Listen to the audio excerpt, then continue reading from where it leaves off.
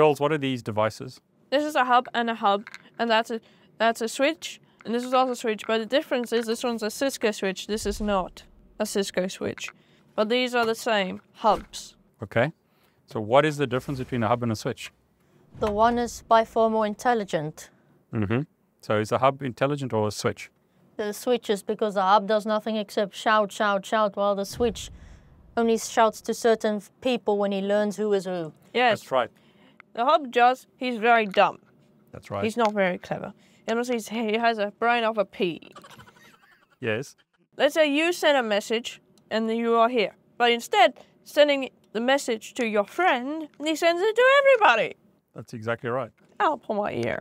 if I'm thinking about that. So on this hub, traffic arrives in the first port, it goes out of all the other ports, right?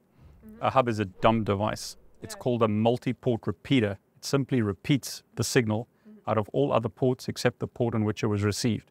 Whereas a switch can learn where someone is and only send the traffic out of that port. Yes.